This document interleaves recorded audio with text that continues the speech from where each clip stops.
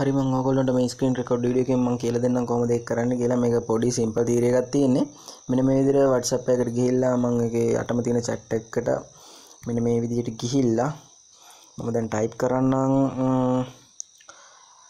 HSC tech please subscribe me.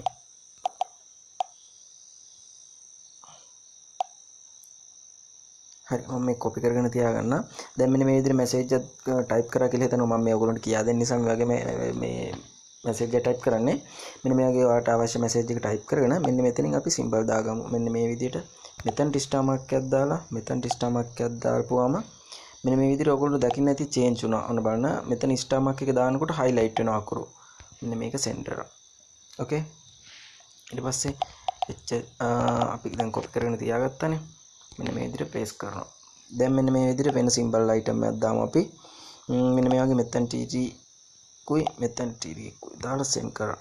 ඔයගොල්ලන්ට තේරෙන්නේ නැති නිකන් අකුරු ලිටල් වුණා. ඒ කියන්නේ පොඩි වුණා. තව මේ වගේ ගොඩක් අයිටම් තියෙනවා. දැන් අපි දාලා බලමු මෙතනට මේකයි. මෙතනට මේ සිම්බල් එක. ඔයගොල්ලන්ට පේනවා ඇති අකුරු මැදින් ඉරක් වගේ වැදුනා මෙන්න මේ වගේ මේ තියෙන සිම්බල් වලින් අපිට පුළුවන් සාමාන්‍යයෙන් මොකක් හරි ස්පෙෂල් විදිහට මැසේජ් එක යවන්න.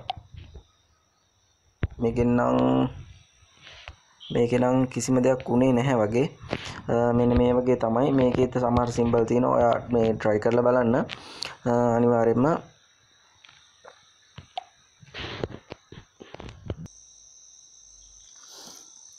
මේ වගේ මං කියන්නේ හැම සිම්බල් එකටම මේකක් තියෙනවා කියලා.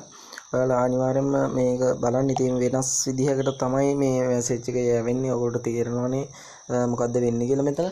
හරි මේ වීඩියෝ එක මෙතනින් මම නවත්තනවා. තවත් මේ වගේ WhatsApp ට්‍රික්ස් හරි ඉමෝ ට්‍රික්ස් මොන හරි ට්‍රික්ස් අරන් එනවා මම අනිවාර්යයෙන්ම මගේ channel එක subscribe කරලා තියාගන්න අනිවාර්යයෙන්ම එහෙනම් අදට සමුගන්නවා.